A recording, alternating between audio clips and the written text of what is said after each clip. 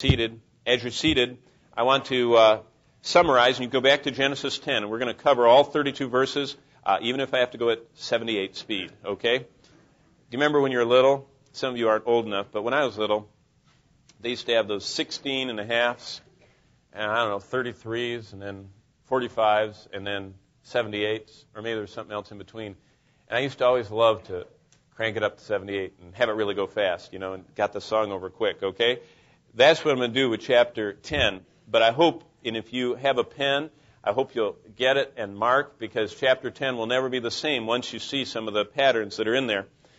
But if I could summarize all of the Bible up through chapter 10, it would be this, that God created Adam and Eve.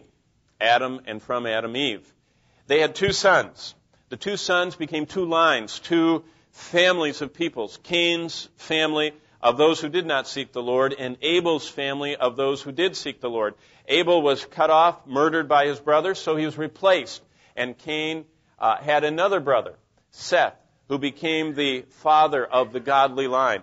And so those two lines go on until their culmination when the last descendant of Cain and the last descendant of Seth are on this planet. And the last descendant of Seth, as far as a patriarch, was Noah. And God takes Noah and his wife into the ark, and they have now three sons. And so God starts over again with another couple. As Adam and Eve started the earth to the flood, God starts over again with another couple, Noah. And Noah's three sons start three more lines or families of people. And we'll see that they basically are the three groupings of the different civilizations in the eras that they have risen up. But in those three lines, God especially chose for his covenant purposes one group, Shem. Remember Shem, Ham, Japheth. Shem, the Semitic people. In fact, the, the Bible was written, the two thirds of it at least, in a Semitic language. The descendants of Shem are the Jews. And many other people, the Arabs, are too, uh, by and large.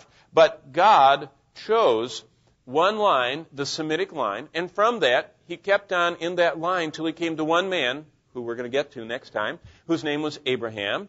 And from that man, who had two sons, he picked again one son, Isaac, the son of promise. And through that one son of promise, he again had two sons, and he diverges again down another line to a son of promise, Jacob. And from that, there are 12 sons of Jacob, and he picks one again, which is Judah.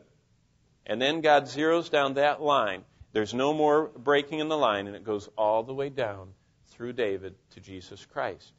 But Jesus Christ opens up the blessing to all the sons of Noah, a potential of salvation to all.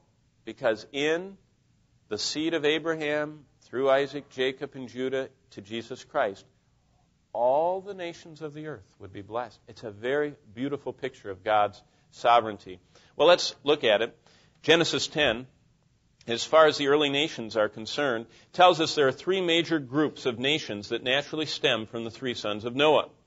This chapter lists 70 nations, and it extends to sometime soon after the scattering of the people from the Tower of Babel. And we're going to see that supernatural event next time. In general, this is what the table shows. From verses 2 to 5, the Japhetic or the descendants of Japheth.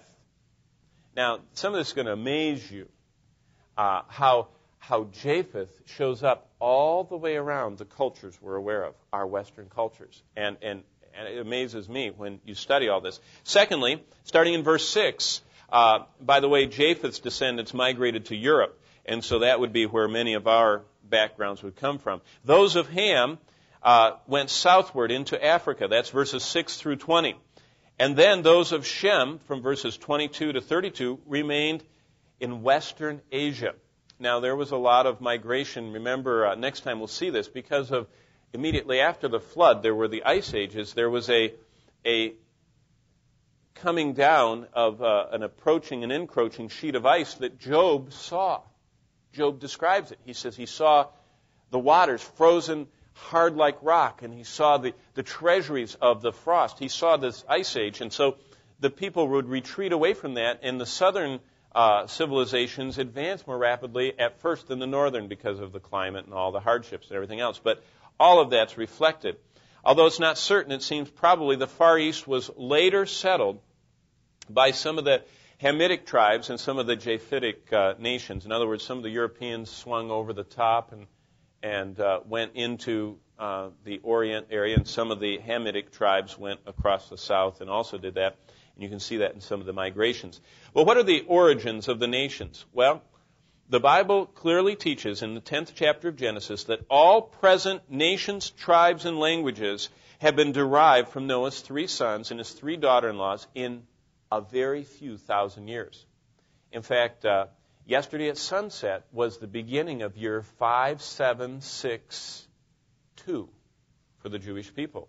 They mark New Year's on Friday night of last week to Saturday night or Saturday sunset, and that's their new year, and it was year 5762.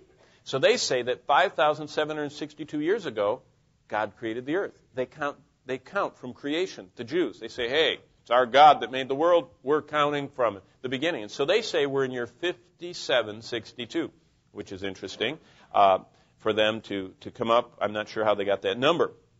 But in those few thousand years, uh, approximately uh, 4,000 plus since the Great Flood, all the different groupings of people have come from the three families that got off the boat with Noah.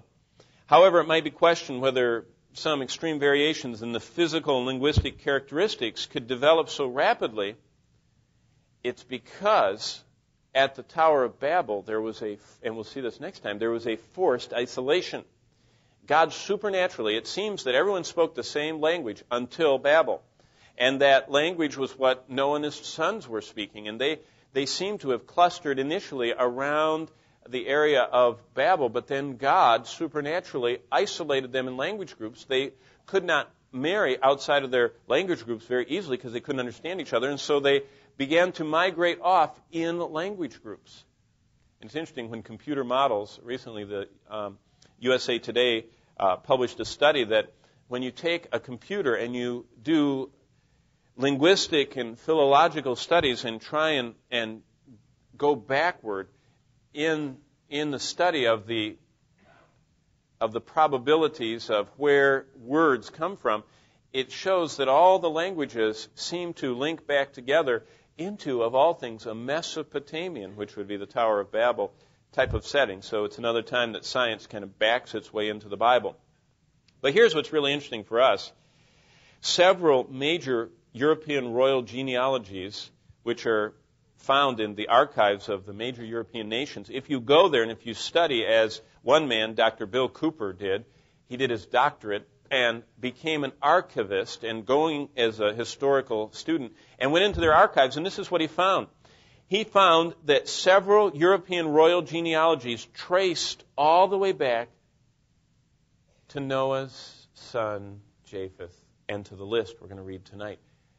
With no knowledge of the Bible, with no trying to, to reckon. I mean, some of those archives, they don't even acknowledge the Bible in those countries, but they actually, in their records, go back and so this is another evidence that points us who love God's Word back to the fact that true ancient history always will correspond with the Bible because the Bible is God's inerrant Word. And as I said, uh, Dr. Bill Cooper of Middlesex, England, in 1995, after spending 30 years writing his dissertation from 1965 to 1995, wrote his dissertation and published it. It's called After the Flood, and it's a genealogical record of 30 years study.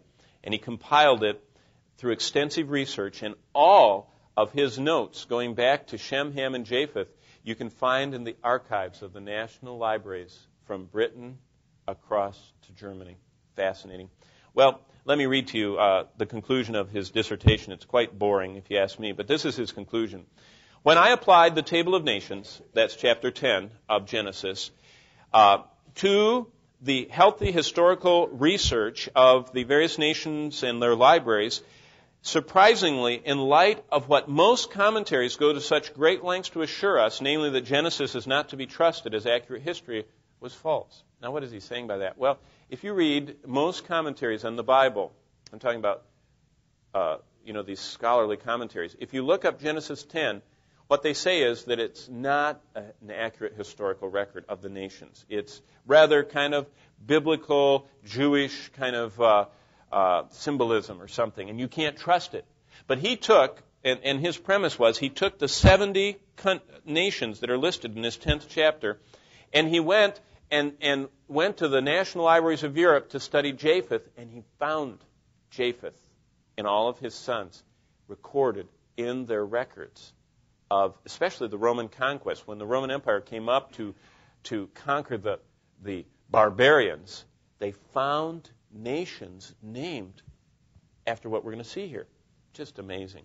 So, over the years, little by little, his testimony in his dissertation is the pieces came together as he looked at the libraries of Europe, the Middle East, the Mesopotamian records, the Arabian records, the Egyptian records, the records in Turkey, and even he studied in Greece. And this picture built up that revealed the 10th and also the last part of the 11th chapter of Genesis. And here's his conclusion to be an astonishingly accurate record of the families and tribes of mankind. Isn't that amazing? And he, of course, got his doctorate and he published it.